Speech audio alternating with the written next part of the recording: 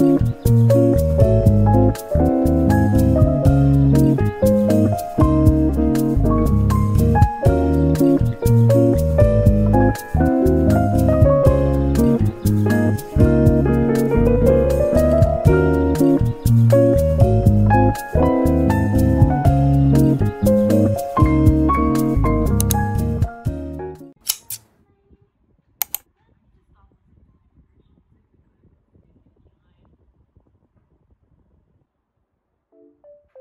Thank you.